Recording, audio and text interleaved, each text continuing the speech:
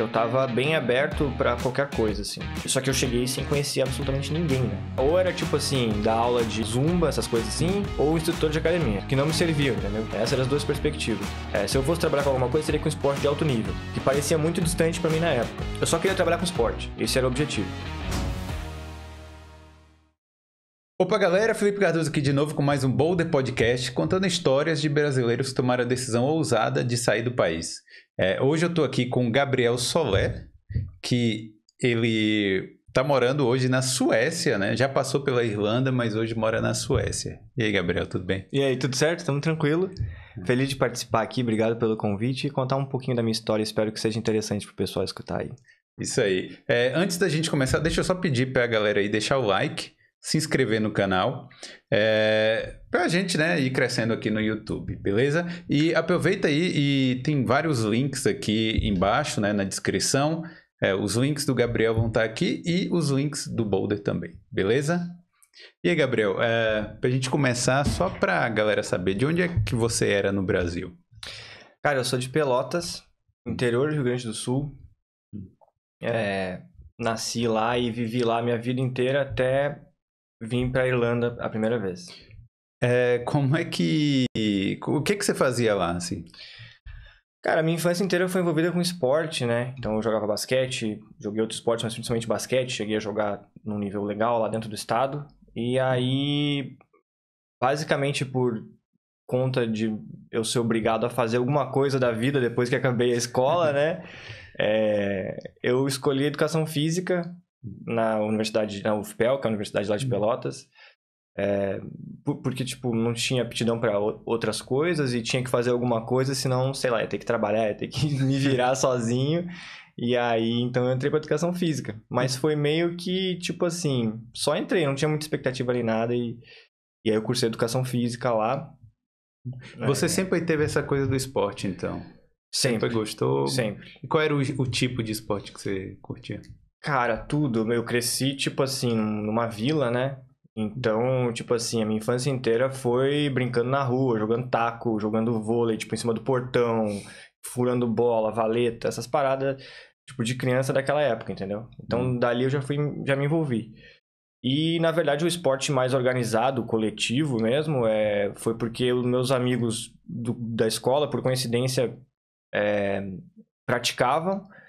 E aí, pô, eu queria ficar na escola depois com eles, né? Não queria ir pra casa ficar, sei lá, olhando Cartoon Network lá.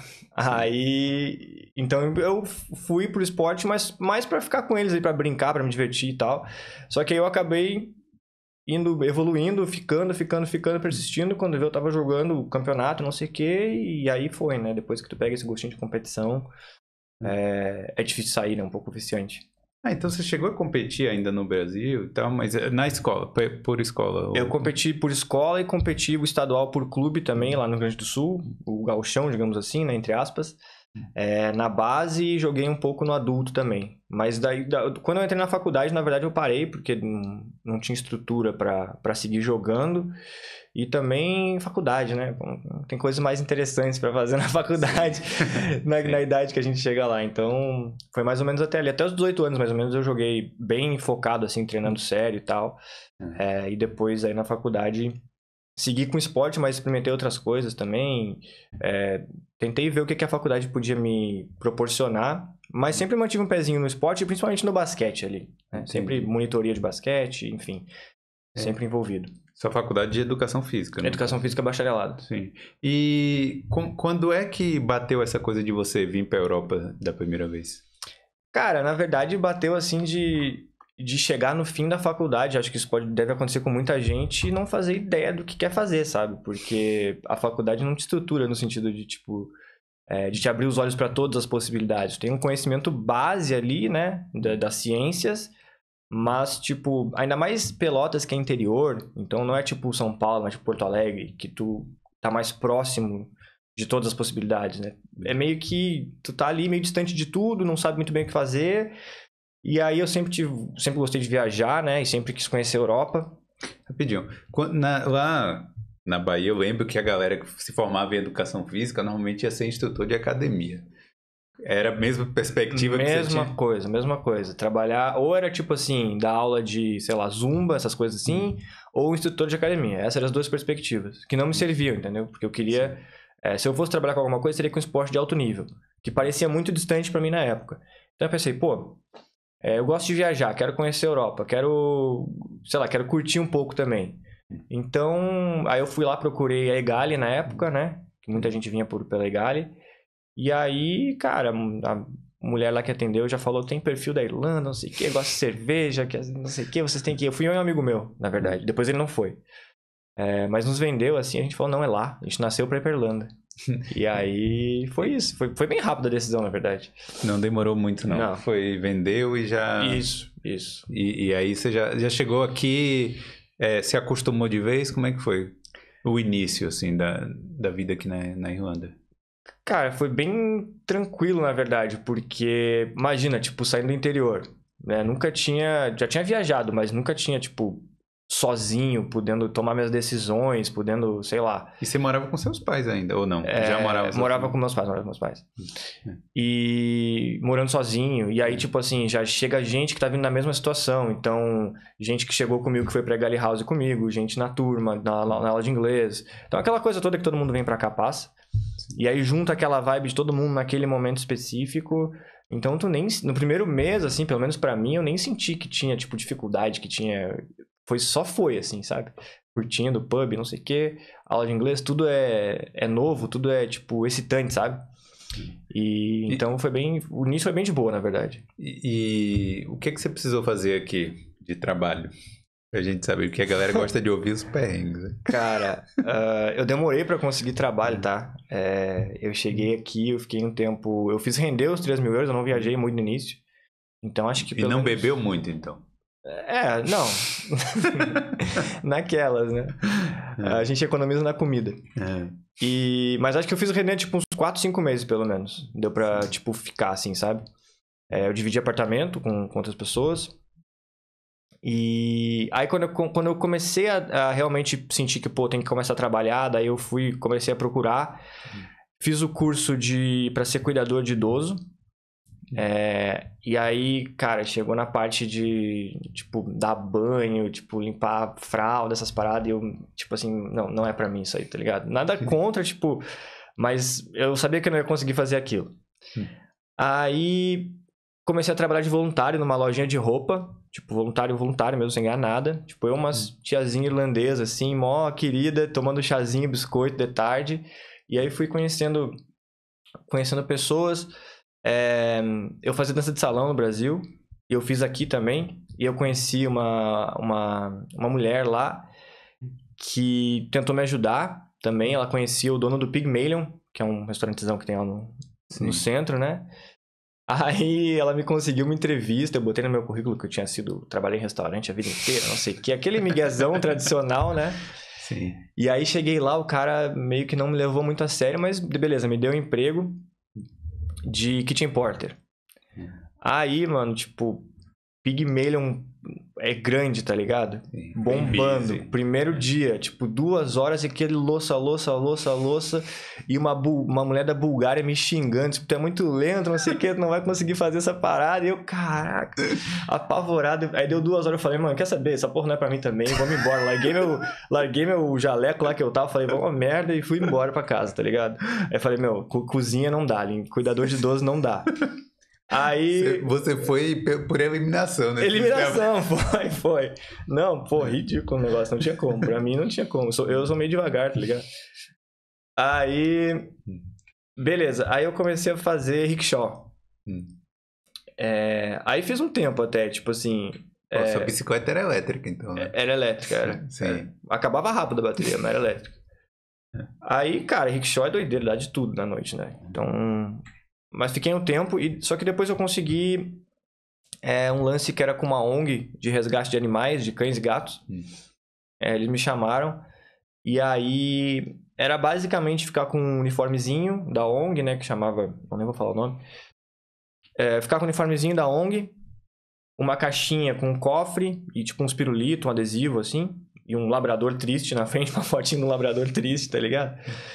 É, e eu ia pra frente dos lugares e tipo, Tesco, supermercado, lojinha, shopping, e ficava lá é, pedindo arrecadação para a ONG. Hum. E aí depois a gente voltava pro escritório, abria o cofre lá, é, contava todas as moedas, todas as notas, entregava pro dono da ONG, e aí a gente recebia 30% todos os dias lá do. Não, recebia uma vez por semana.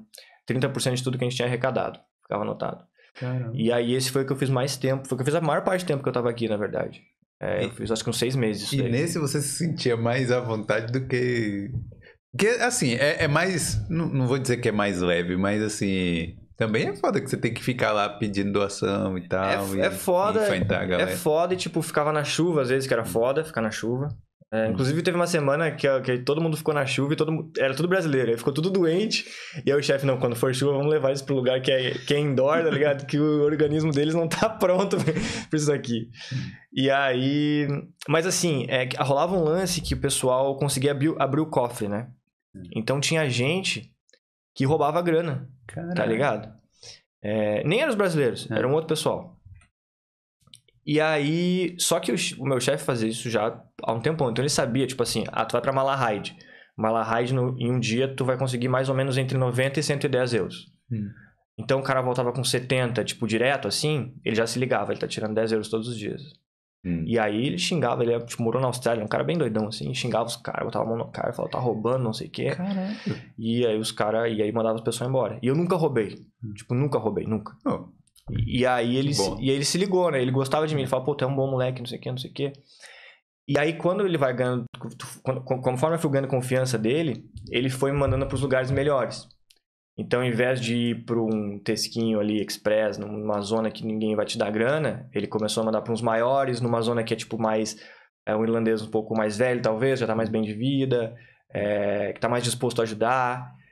Depois ele começou a mandar com mesa para dentro dos shoppings. Então, nos últimos três meses, eu ia com um mesão, assim, com umas fotos de cachorro, de gato. É, eu- quanto, quanto mais é, alto na hierarquia, mais triste estava o cachorro. mais triste dinheiro. tava o cachorro, mais dinheiro eu conseguia. Pô, teve Uhum. dentro de shopping, final de semana, às vezes tirava tipo 600 euros. Eram uns baldes de dinheiro, assim, tá ligado? Sim. Caramba, é muito, hein? e, e aí depois no final eu comecei a ir com o cachorro mesmo.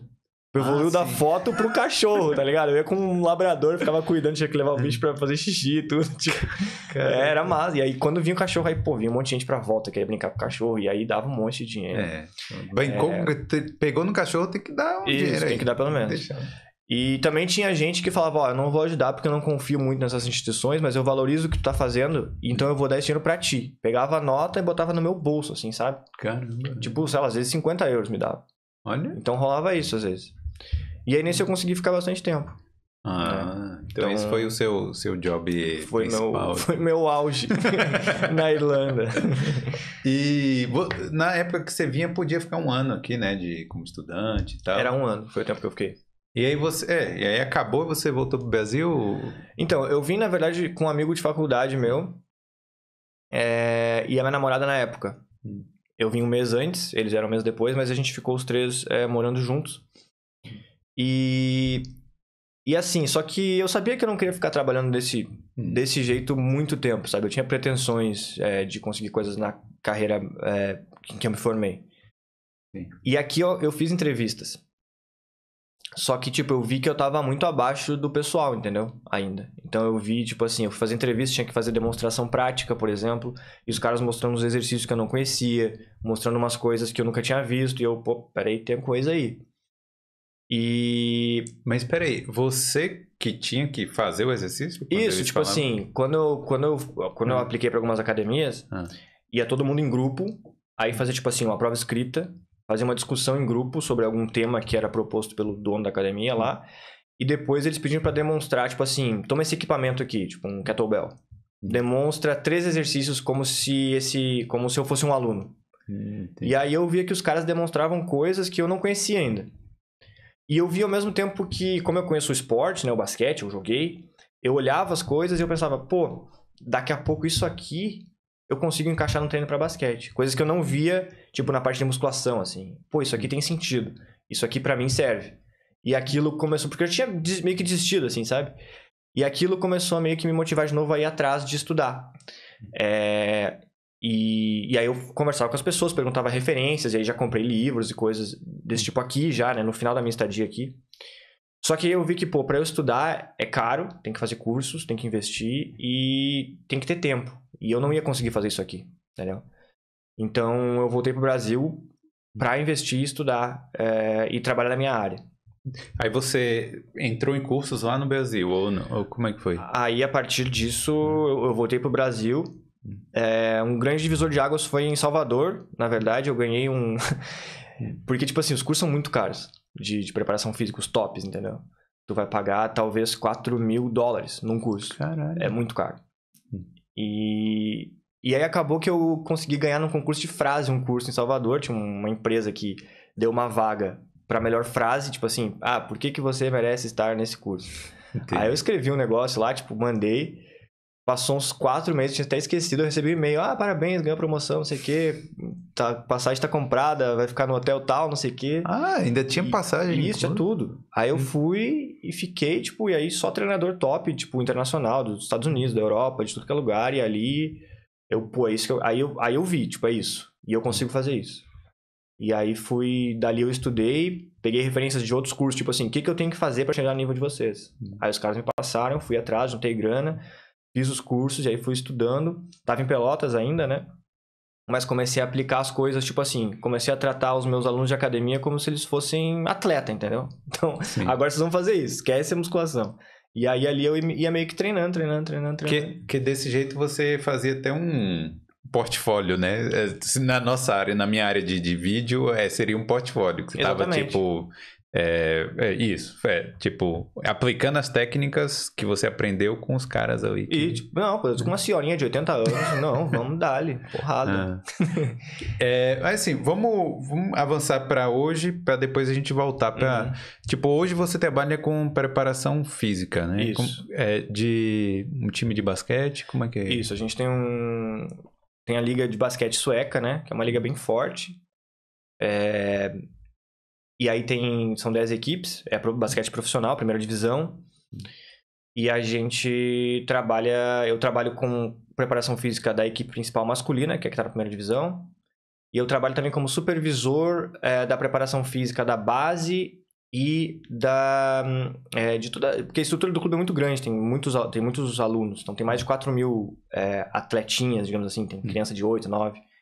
Então eu converso com os técnicos, eu supervisiono o trabalho que os treinadores estão fazendo, tipo, conversas do que, que eles podem aplicar dentro do dia a dia ali deles, que pode ser referente à preparação física.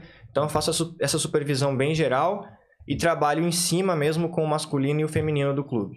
Então, é, v- vamos traduzir pelo, pelo Brasil, assim. Vamos supor, é um, é um clube nacional, no caso, um time, vamos supor, tipo o Flamengo, sei lá. Que Isso, tem os é. atletas todos lá. isso. a Atleta do time feminino, atleta do time masculino e a base, né? Todos. Exatamente, tudo estruturado. É. Um clube como se fosse Flamengo, Inter, Grêmio, qualquer clube. É, Então, mas aí.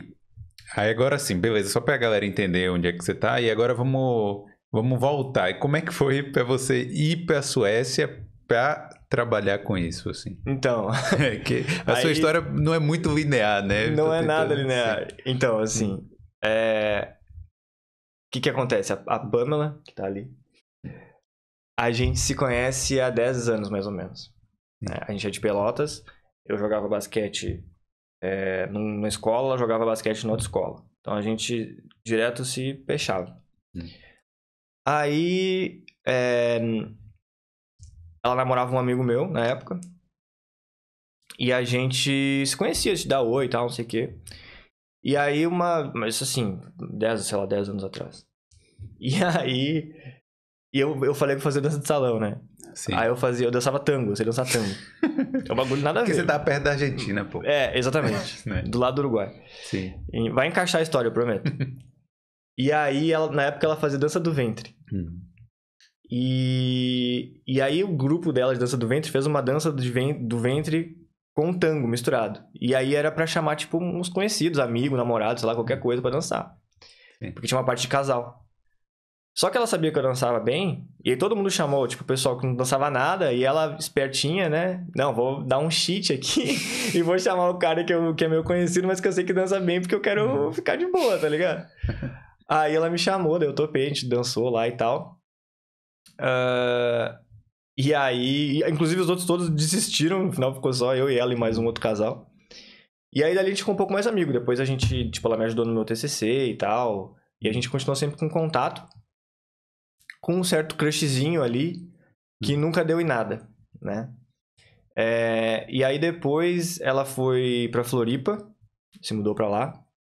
Eu vim pra Irlanda, dei uma separada. Hum. Ah, namoramos outras pessoas, não sei o quê. E aí um dia, por coincidência, assim, a gente se encontrou lá em Pelotas, num campeonato de basquete, de 3 contra 3, numa praia que tem lá. Hum. E aí, tava os dois solteiros, pela primeira, meio que pela primeira vez, assim, se encontramos e a gente se olhou e, ó, tem alguma coisa aí. E aí, enfim, a gente teve um lancezinho ali e...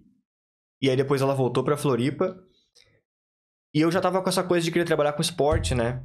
Sim. E em Pelotas não tem esporte. Então eu já tava por sair de Pelotas. Você tava pensando em ir pra onde? Assim, qualquer lugar ou... Então, por Ah. coincidência, ela tava morando em Floripa. Por coincidência, a minha mãe, todos os meus irmãos, que eu tenho três irmãos, estavam em Floripa também. Hum. E aí, pô, era o lugar mais fácil, né? E não é tão longe também. E eu podia ficar um tempo com eles lá. E aí eu resolvi ir pra Floripa. E aí fui pra lá. E a gente continuou amigo. É, Por coincidência. por coincidência. Foi coincidência, juro por coincidência. Não, e ela, não, e ela tava, e ela queria Ela tá rindo. Não, e ela e, não, e foi, foi difícil, porque tipo assim, eu tinha recém terminado um relacionamento Sim. e eu queria ficar de boa, tá ligado? Ela tava metendo pressão, tipo, ela queria, que ela queria mais, tá ligado? Ó, se você quiser direito de resposta, você pode, pode falar. Não, eu fiquei um ano enrolando ela pra caramba, assim, tipo, às vezes ela ficava puta comigo. Hum. E aí a gente ficou um ano nisso, tipo, meio que enrolando, assim, mas sempre, tipo, com amizade e tal. É, consegui trabalhar com esporte lá, porque tem um núcleo da seleção brasileira de rugby Hum. lá em, É. lá em Floripa. Mas não, não é muito forte lá, né? Ou é? O rugby, Sim. o feminino é bom, assim, não é tipo top, não é tipo Irlanda, Sim. mas tem é bem estruturado, o treino é bom, os preparadores são bons, tem atletas bons. Ela jogava rugby lá num, num clube lá. Hum. E aí eu, enfim, pedi pra participar lá, pra assistir treino, conversar com os preparadores, tipo, fiz meio que um estágio, assim, uma vivência lá. Então consegui atingir esse objetivo. E aí a gente foi, tipo assim, foi crescendo a amizade, não sei o que, não sei o que, não sei o que. Sempre aquele lancezinho, né, pra rolar e não rolava. E aí ela acabou sendo chamada pelo LinkedIn pro Spotify na Suécia. Ah. E aí a gente, tipo assim, a gente tinha. É, a gente tinha recém ficado, assim, sabe? Tipo, tava, tava acontecendo a coisa. Sim. E aí ela foi chamada, veio pra Suécia, fez a entrevista, passou. E aí rolou aquilo, tipo, pô, agora que a gente ficou, passou um ano enrolando, a gente ficou, eles me chamaram e aí vamos ter que separar de novo. E a gente, pô, que É. saco, né? Não sei o quê. E aí ela falou, ó, é, tem o Spotify, ele dá uma possibilidade de, de um programa de partner. Que tipo assim, tu vem com o teu, com teu partner e aí eles dão apoio tudo, é, ajudam com as coisas e tal. E a gente podia tentar entrar nessa, se tu não achar que é muita doideira. Eu falei, ó, pra mim o meu limiar de doideira é bem alto, então, Sim. cara, se, for assim... Falava assim, rapaz, já pedi dinheiro pra cachorro, ainda mais. É. Aí. Não, tipo É. assim, a gente também é amigo mais de 10 anos, entendeu? Sim. Se desse alguma merda, não ia assistir uma pessoa que eu conhecia há dois meses, é, tô diferente, ligado, entendeu? Sim. E aí a gente fala- eu falei, tá, o que, que a gente tem que fazer então? Ela, o mais certo, que vai dar mais certo, é a gente casar. Tipo, a gente não, nem namorava, tá ligado? aí, aí eu falei, casamento, é, o que, que significa casamento pra ti? É importante pra ti? Disse, não. O que, que, que, que é pra ti? Eu falei, ah, pra mim é só um pedaço de papel, não dou bola. E aí, no telefone, isso, tipo. E aí, ah, então vamos dar -lhe. E aí é isso. Aí, tipo assim, em 28 dias a gente tinha casado, feito passaporte, feito tudo. Hum. E tava vindo. E a gente veio e ficou morando junto. E aí tá, tipo, vivendo como namorado e tudo normal, né? Agora é tipo uma relação de. A gente é casados. Caramba, é, é legal, não? Então, graças ao Spotify também, né? Foi maluco, foi maluco. E beleza, aí quando você chegou lá, é, como é que foi sua vida no início? Você já, já podia trabalhar de cara? Pode, a gente tem um visto que nem, nem tem nada a ver com estudo, assim, né? É bem diferente daqui. Sim. A gente tem todos os direitos de um cidadão sueco e, tipo assim, trabalho normal, tudo normal. A gente só não tem o, tipo, passaporte. Hum. Mas a nossa vida lá é como se a gente fosse um cidadão sueco. Inclusive pagar imposto. é, Eu fiz mestrado lá, que foi totalmente de graça. Então, Hum. a educação lá é gratuita, né? Então, tu só aplica se tu passar pelo teu, pelo teu histórico da faculdade. Tu é chamado, eu fiz mestrado. E aí... Só que eu cheguei sem conhecer absolutamente ninguém, né?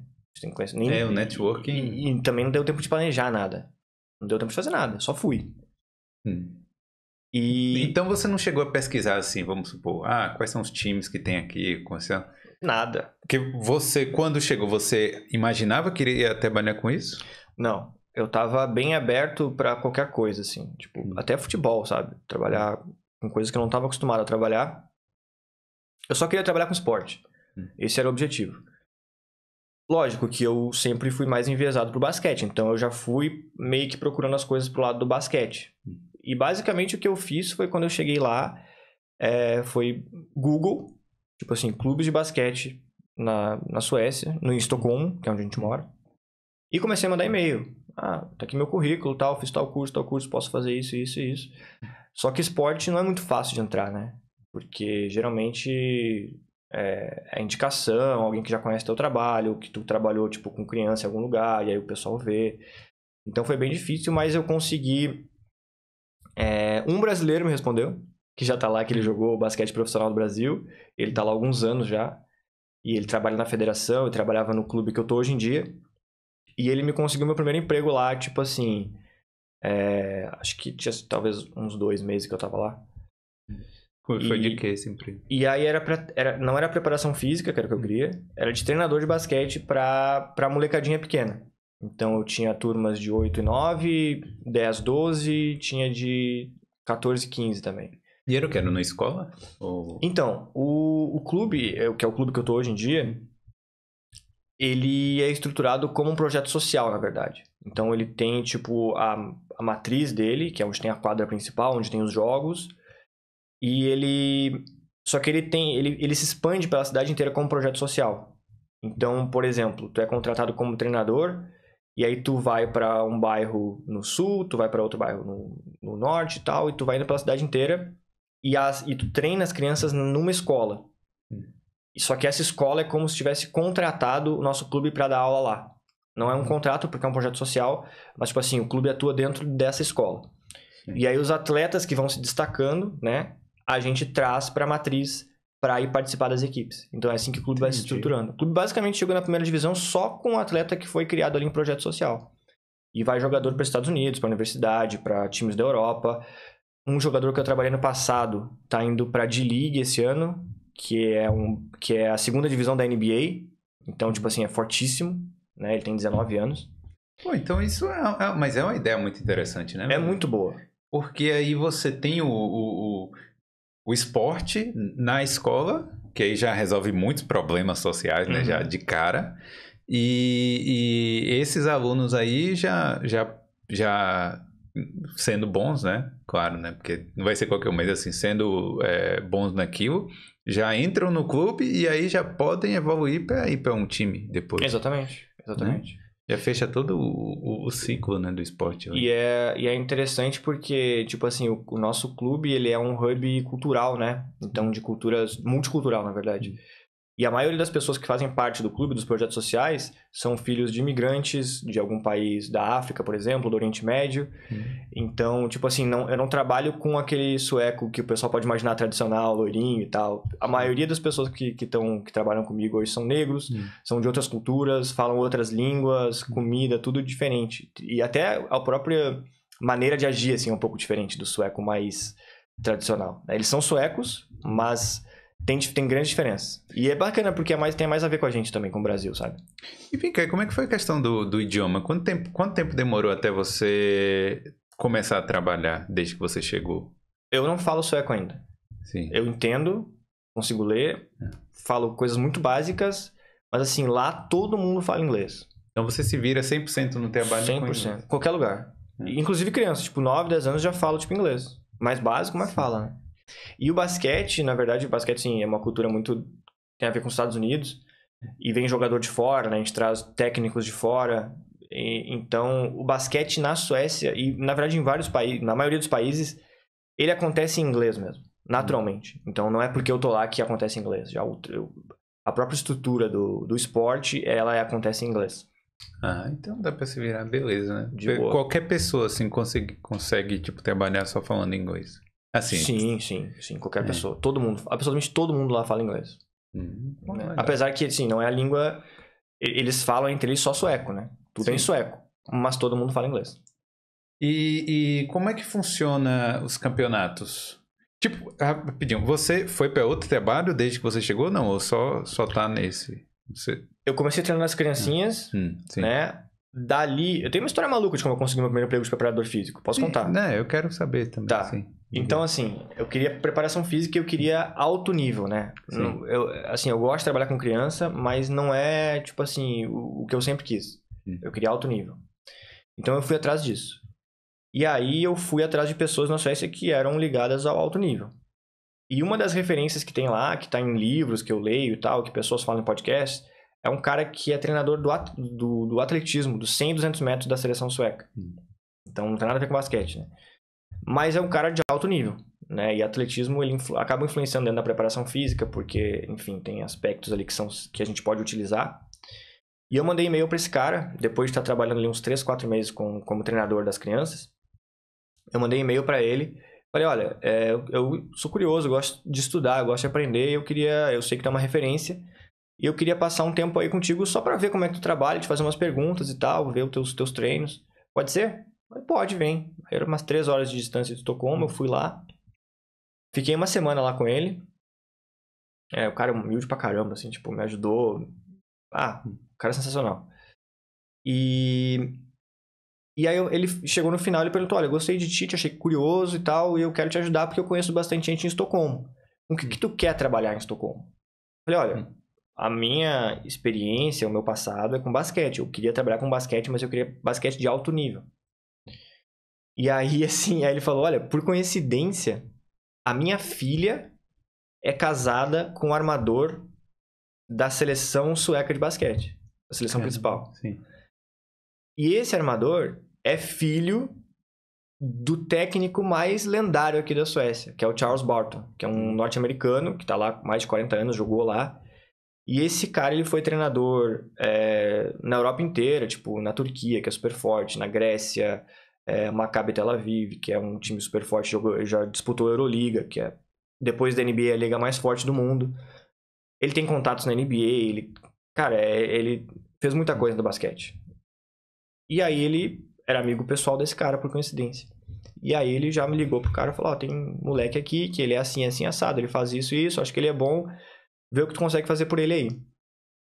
E aí ele me ligou e falou, ó, vem no nosso treino, isso era agosto, né, a temporada de, de basquete, temporada de esporte indoor vai de setembro até maio, isso era agosto, tava pra começar a pré-temporada. Ele falou, vem no nosso treino, porque a gente tá com um projeto na segunda divisão do basquete, com um clube que é grande aqui na cidade. O futebol e o hockey é grande, né? O basquete estava começando, então eles subiram da terceira para segunda e queriam ir para a primeira. Hum. O mesmo clube tinha essas, essa, os times diferentes. Isso, tipo o Flamengo, assim, tem o basquete, né? o futebol, e, aí o clube era muito grande, muita torcida. E aí ele falou, vem porque a gente tá precisando de alguém como, como tu e tal, e a gente pode ter alguma coisa aqui. Eu- e aí ele pediu para eu fazer um aquecimento, tipo a parte inicial, os 15 primeiros minutos. Aí, foi- era uma semana depois, eu acho, eu passei a semana inteira planejando o aquecimento, tipo assim, fez o aquecimento da minha vida, sabe? Hum. Fui lá, passei o aquecimento pro pessoal, todo mundo adorou e tal. Fiz alguns jogos, brincadeira, não sei o que. Ele falou, cara, isso aí é o que eu sempre imaginei que tinha que ser uma preparação pra um, pra um jogador de basquete, não sei o que. E a gente quer contar contigo, só que a gente tá na segunda divisão e a gente não tem dinheiro pra te pagar. Sempre, é sempre. isso. Aí eu falei, caraca. Só que eu ganhava muito pouco dando aula pras crianças, sabe? Hum. Também eu falei, olha, acho que vale a pena porque daqui a pouco a gente sobe, alguém vai começar a ver meu trabalho. E a Pamela tava segurando as pontas porque é, tava trabalhando no Spotify, então mais tranquilo, né? Hum. E aí eu topei.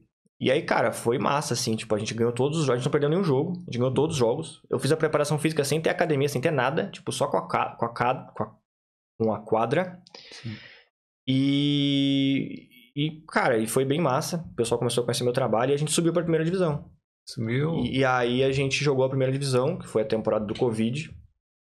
Já com. Caramba. É, daí já recebendo um pouco de grana. Hum. É, contratamos jogadores bons, jogadores de seleção, jogadores de universidade americana.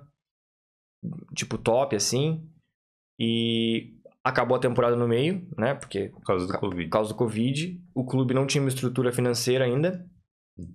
É, Então o clube acabou falindo, né? Voltou duas divisões. Caramba. É, ele se aposentou, ele tá com 75 anos e tal, disse que não quer trabalhar mais agora. Foi muito O estresse. cara que te ajudou lá. É, o treinador, o treinador. sim. E aí.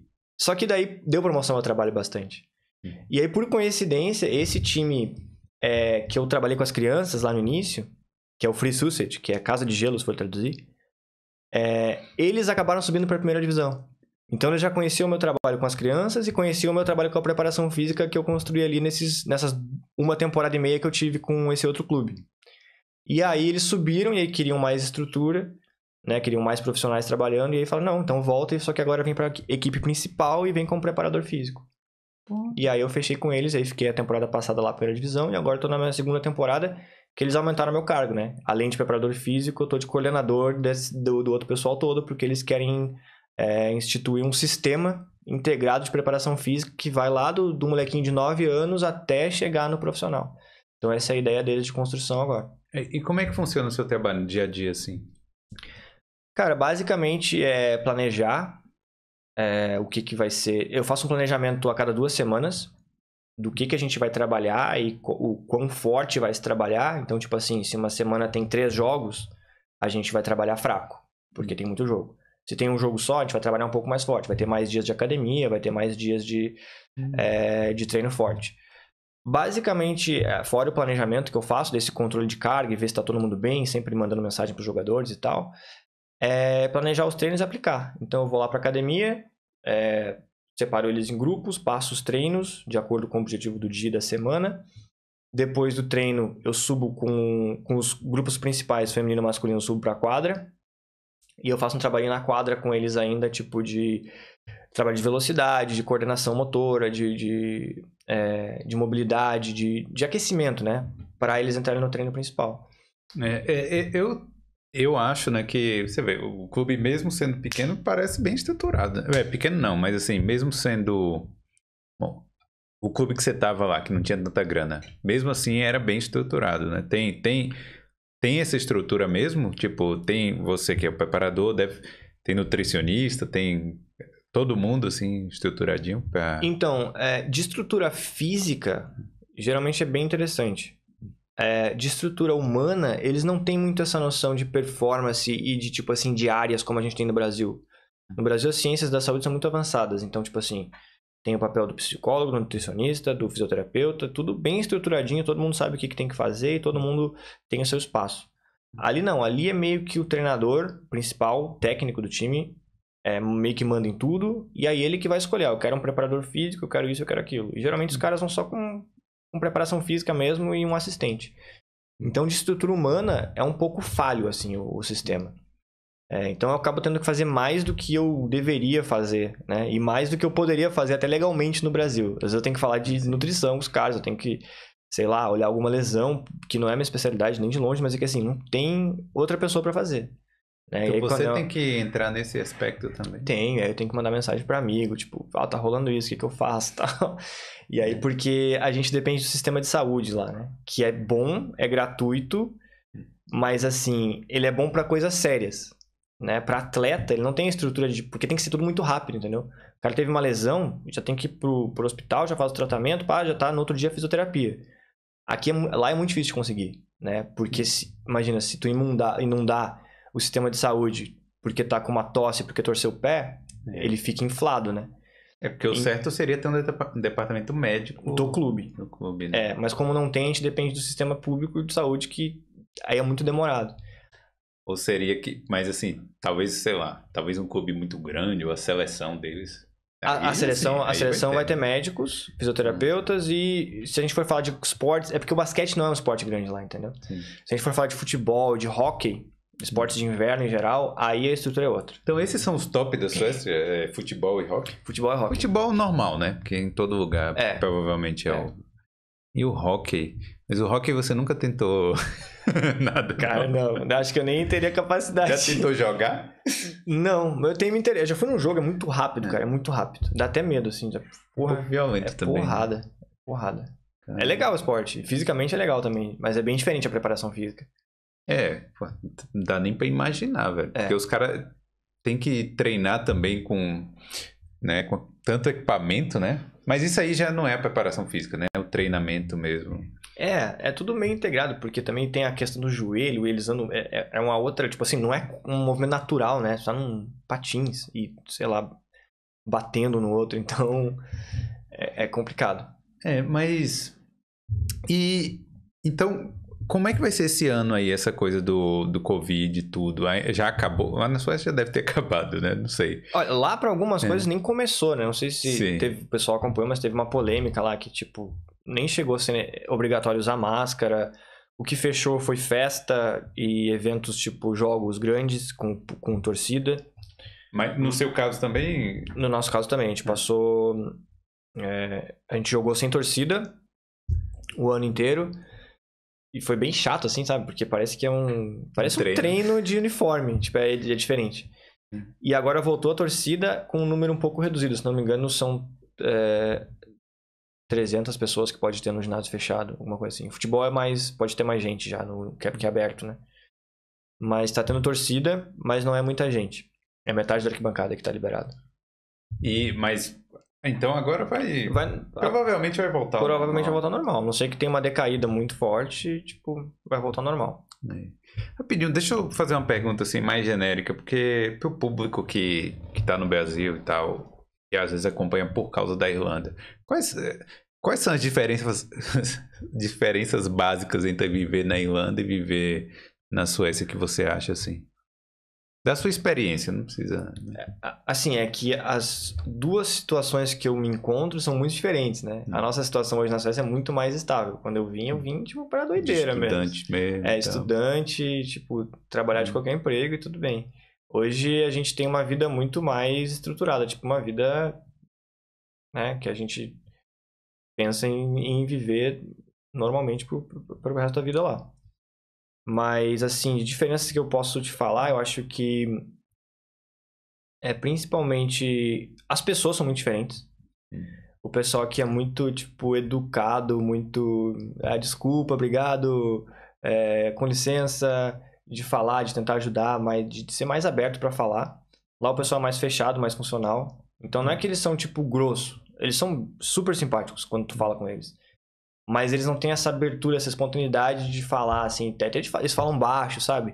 Hum. A Suécia tem um lance que é uma palavra que é lagon que chama, né? Lagon. Que é tipo assim, a cultura deles, eles não querem ser nem melhores e nem piores que ninguém. Hum. Eles vivem de uma forma totalmente neutra. Até se tu olhar, tipo, se for na IKEA, Sim. que é uma loja sueca, é tudo meio neutro, assim, né? Que é a vida deles. Eles não querem chamar atenção, eles não querem ser observados, e eles também não estão nem aí pra tua vida. Então, tipo Hum. assim, tu pode fazer o que tu quiser, tu te veste do jeito que tu quiser, eles vão passar do teu lado, não vão nem notar que tu tá ali, sabe? Não tem aquela parada de, sei lá, daqui a pouco interagir com o teu cachorro, fazer um negócio mais chamativo, assim, não. Eles querem ficar meio invisíveis. E- mas você mora no centro da cidade? Você mora em apartamento, em casa? A gente mora num. A gente recém mudou, a gente comprou um apartamento lá, a gente recém mudou. A gente mora, tipo assim, não é centro, mas não é muito afastado também. É um meio termo, tem um pouquinho de natureza, um pouquinho de água, mas ainda tá próximo da cidade. Mas já é, é longe da, da farra, digamos assim. É mais um bairro mais tranquilo. E os vizinhos, mesmo assim, então não, ninguém se mexe com. Cara, lá tem uma Ninguém. lenda engraçada que, tipo assim, o vi- teu vizinho na Suécia, se ele, se ele vai sair de casa e ouve que tu tá sendo ao mesmo tempo, ele espera dentro da porta, escutando, até tu ir embora, pra ele não precisar te, te dar oi e perguntar como é que tu tá. Não, sacanagem. Rola esse lance aí, rola esse lance aí. Aqui na Irlanda, eu acho que o povo é mais. É, fala, é, fala muito, né? Um com o outro, pergunta do tempo, do clima, aquela coisa, né? Comenta. Fala muito. Lá o pessoal é muito é, passive-aggressive, sabe? Sim. Então, tipo assim, eles não vão te xingar na tua cara, eles podem estar puto contigo. Mas eles vão chegar e falar com calma. Tipo assim, a gente tava batendo. a gente se mudou e tava quebrando uma parede. E a gente nem se ligou que era sábado, sabe? Tipo, porra. Ah, a gente tava merda. tanta loucura que a gente não prestou atenção que era sábado. Começou a marretar, marretar, marretar a tarde inteira. Daqui a pouco chega um cara lá, bateu na porta e eu, putz, ele vai nos xingar que é sábado, velho. E aí eu vi que ele tava puto no olho dele, assim, mas ele falou, tipo, Ah, vocês que estão batendo parede, aí, que vocês podiam, por favor, parar e tal. Que é sábado, vocês têm que começar na segunda e até às cinco, só. Todo educado, assim. Mas no fundo da alma dele, ele queria me mandar merda, entendeu? Só que eles não vão fazer isso. Mas o povo que usa furadeira de noite aqui, nesse, neste prédio aqui, é foda. Complicado. É. E, e outros aspectos. Então, assim, vocês vocês estão querendo ficar lá para sempre mesmo? Ficar por enquanto? Pra sempre é forte. Hum. Mas assim, a gente comprou uma casa, mas é. Lá é. Comprar uma casa é um. É uma, assim, um commitment menos importante do que no Brasil. Entendeu? Sim. Porque o mercado é muito rápido. Então, tu pode comprar e vender com muita facilidade. Tu pode alugar com muita facilidade também, por até dois anos. Então, tipo assim, se a gente precisar sair, ir para outro país, arranjar emprego, ela pode trabalhar de outros lugares também, é, é bem tranquilo. Então, a gente comprou, na verdade, porque é mais barato e mais fácil. É mais barato do que alugar, né? É, é mais barato que alugar. Se tu tiver, o- se tiver condições de dar a entrada lá, Hum. que é o mais difícil, é, é, fica mais barato e, e menos problema também. Porque lá tu não pode alugar um apartamento, tipo, por cinco anos. Porque o governo obriga as pessoas a morarem na sua, na sua, no, seu, no seu prédio, no seu apartamento, a cada dois anos. Então só pode a mudar? a morar. Tipo assim, o dono do apartamento, o landlord, Ah, sim. Você tem que- comprou, então você tem que ficar dois anos lá no Você tem que- a cada dois anos tu tem que morar por um período no teu apartamento. Ah. E eles fazem isso para evitar o pessoal de comprar um monte de imóveis e ficar alugando. Sim, mas. Então, mas se, se eu tiver du- duas casas lá, eu moro em uma por dois anos, depois mudo pra outra por dois anos, é isso? Iria Poderia fa- funcionar? Poderia fazer um quebra-cabeça desses, mas é, é para evitar de fazer esse esse lance de Ah, comprar não, um monte de imóveis e aí tu é obrigado a morar na tua casa por, por a cada dois anos. Muita então, lei. então, tipo assim, a gente não pode. A gente já mudou há quatro anos lá, a gente deu sorte que a gente conseguiu ficar em dois lugares só. Mas tem gente que tem que, que dar azar, muda a cada seis meses, cada um ano. Então é um saco isso, porque tu nunca sabe, entendeu? E, E- aí, comprando, Aí já resolve esse já problema. resolve esse problema. E o custo de vida lá? Nossa, é muito alto. é muito caro. Quanto custa uma cerveja lá? Ah, Agora você tem que falar em euro, né? Porque o dinheiro de lá é é. muito. É, o dinheiro é um pouco diferente. Mas, sei lá, a mais barata de todas, tipo assim, a Brahma deles Sim. Vai custar, acho que uns 4 euros, né? 4,50. No bar? É, ou no... no bar, no bar. Ah, mas aí tá barato, pô. Tá mais É. barato que aqui. É? Tá mais barato que aqui? É. Pô, eu acho muito caro. Aqui é né? 6 euros. Você vai num bar, você toma uma pint, tipo 6 euros, 5,50, 6 euros. É. Eu acho que na verdade tá bem parecido. É, Me falaram que o aluguel tá muito caro aqui agora. Ah, não, aqui é absurdo. É, Desde que quando você veio já, já era caro, né? 2013, é isso? Era, era bem mais barato, mas É. hoje é bem caro aqui. Mas é engraçado que a gente sempre nota muita diferença nos preços quando a gente vai, tipo assim, pra Espanha, pra Itália. Fica tudo muito mais barato. É. Até na Alemanha fica um pouco mais barato. E aí a gente veio pra cá e a gente não notou essa diferença tão grande. A gente Hum. tá gastando mais ou menos o equivalente ao que a gente gasta lá. Hum. Então. É, mas- realmente aqui, aqui tá absurdo o custo de vida. Tá não, né? É, eu falo assim, mas também se você for comparar o, o salário, o poder de compra e tal, aqui né, é, bem, é, é bem tranquilo morar aqui, entendeu? Você trabalhando aqui, ganhando dinheiro aqui, é bem tranquilo. Sim. E provavelmente na Suécia também é parecido, né? Ou não? É parecido. Se tu, tu Sim. morar lá e trabalhar lá com dinheiro de lá, tu fica tranquilo. Comprando os móveis na IKEA, Isso. no IKEA. Principalmente. Ikea, eles falam. IKEA. Sim, mas agora deixa eu, eu tô- a gente entrou muito aqui nessa questão do custo de vida, mas deixa eu falar aqui do é, do seu canal, do é, como é do, do seu podcast, né? Aham. Tem um blog e tal, podcast, Instagram. Isso. Conta um pouquinho aí o que, o que é que você fala lá. Então, a gente tava em meio à pandemia, Hum. meio que sem saber o que fazer, tava. é, a base não tava acontecendo, tava só o profissional nessa época, então eu tava trabalhando pouco. E. E eu tinha ido pra. Eu tinha. Quando, quando fechou a Quando começou a pandemia, eu tinha. A gente tinha recém voltado do Brasil, tipo assim, um mês antes. E eu fui pra minha cidade, lá em Pelotas, e eu dei uma palestra lá sobre preparação física pra basquete. Ah, então já, já, já fez isso lá no Brasil, voltando Isso. pra lá. Foi, a- tinha sido a primeira vez que eu tinha feito alguma coisa assim ao vivo, específico pra basquete. Hum. E eu vi que, tipo assim, tu vai estudando, vai acumulando conhecimento, vai, vai normalizando coisas que quando eu cheguei lá, eu vi que não eram normais. Hum. Tipo, eu falei coisas, mostrei coisas que eu vi que a criançada lá e que, que o pessoal que trabalha lá não fazia ideia do que eu tava falando. E nunca tinha visto aquilo. E aí eu pensei, pô, daqui a pouco tem alguma coisa aí que eu posso que eu posso influenciar no Brasil.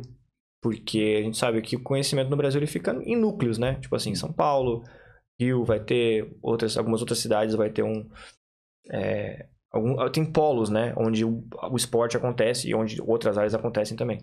É o que é normal também pelo tamanho do Brasil. Exatamente. O ideal seria que toda cidade, mesmo pequena, tivesse um grupo, um, sei lá, um time estruturado, alguma coisa, mas não é, mas sim. Desculpa, pode falar. Então eu, eu identifiquei que tinha uma carência ali e pensei, posso fazer alguma coisa em relação a isso. E aí o meu irmão, é, o Mariano, ele, é, ele era skatista, ele é skatista ainda, e ele trabalha muito com vídeo também. é Função do skate, né? O pessoal faz muito vídeo e tal, edição. Hum. E eu falei, pô, Mariano, é, a gente podia fazer alguma coisa, né? Pelo menos fazer um vídeo, alguma coisa, ver, ver- vamos ver o que acontece. Ele cuida dessa parte de marketing digital também. E aí quando eu voltei, eu estruturei um videozinho, tipo, de treino básico, assim, de um minuto. Postei, deu legal. Tipo assim, ó, fiz uma página totalmente nova, do zero, deu bom. Postei outro, deu bom. E aí eu postei um que foi, tipo, polêmico, né? Que é tipo, ah, por que, que tal programa de treino não funciona? Aí dei cinco razões por que, que não funcionava. E aí começaram a marcar gente, marcar gente, porque um monte de gente no Brasil fazia esse negócio que eu sou contra. Alguém te xingou? Não, xingar não. Só falaram, tipo, ah, eu fiz e funcionou pra mim. É. Tipo assim, aquela regra da exceção, sabe? Sim. Aquela exceção, que não é a regra, Hum. na verdade. E. Mas teve gente, canal no YouTube, que fez react desse, desse negócio. E, tipo, rolou, tipo assim, bombou o negócio. Hum. E aí eu, cara, vai dar bom isso aqui. E aí comecei a postar conteúdo, tipo, como melhorar a altura do salto vertical pra conseguir enterrar, como melhorar o controle de bola, coisas básicas assim. E cada vez mais o pessoal ia se marcando, se mandando na página. É, hoje a gente tá com quase 34 mil seguidores. E aí isso começou a chegar, inclusive, gente de seleção brasileira, outros treinadores, tipo assim, gente que eu admirava veio falar, pô, tua página é muito massa, não sei o quê. Ex-jogadores profissionais, jogadores profissionais. Fiz amizade com fisioterapeuta da seleção brasileira hoje em dia, a gente tá dando curso juntos, já fiz um monte de coisa legal. juntos.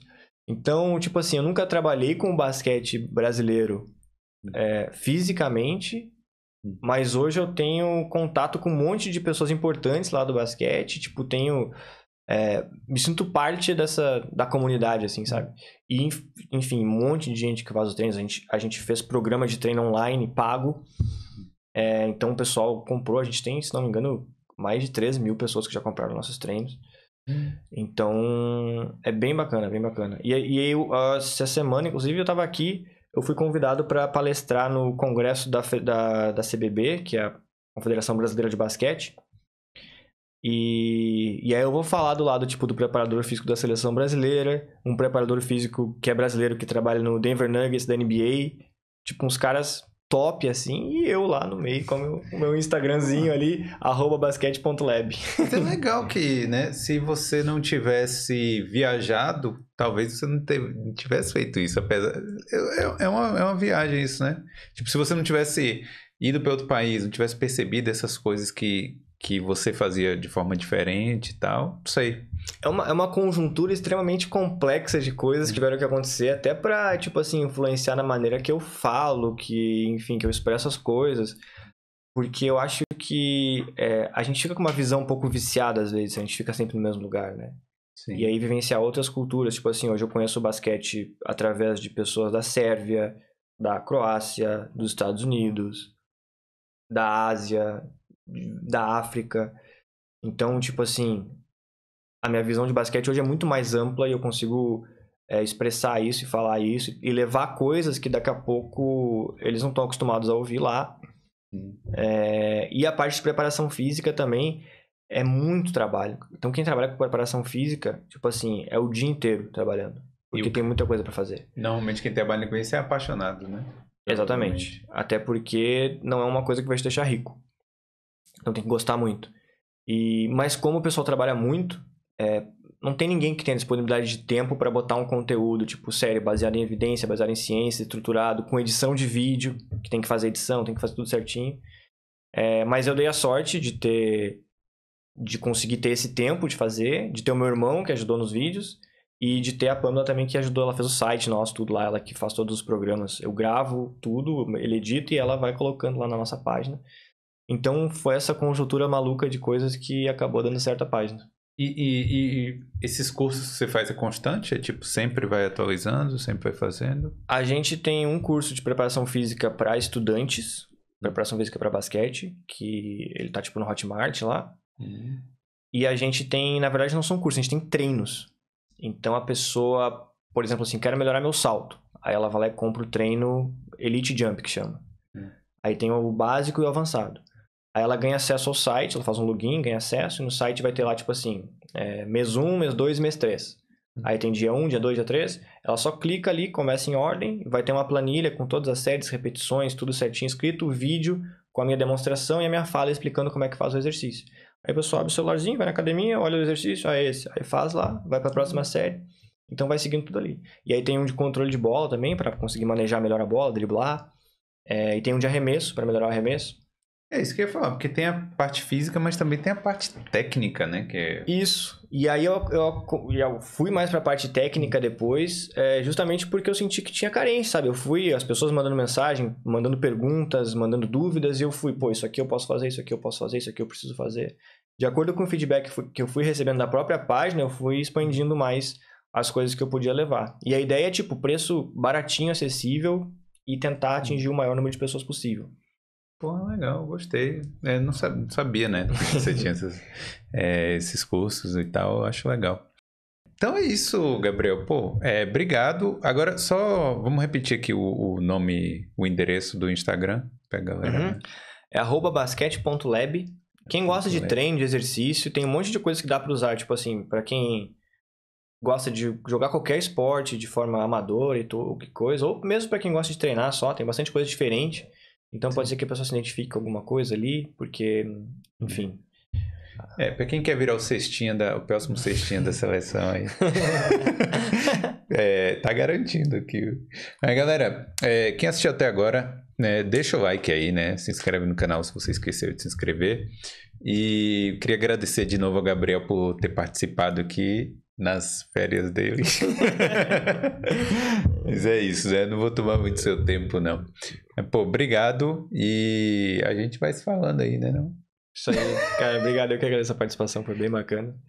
Quer deixar algum recado aí ou falar mais alguma coisa? Não, só agradecer. Espero que o pessoal tenha gostado e que se identifique, pelo menos que alguém se inspire, né? se inspire na história aí, já é isso. É o que eu gosto de fazer. E vai lá pra Suécia ou venha pra Irlanda também. Né? Quando for pra Suécia, manda mensagem lá que a gente dá um rolê junto lá. Tá certo.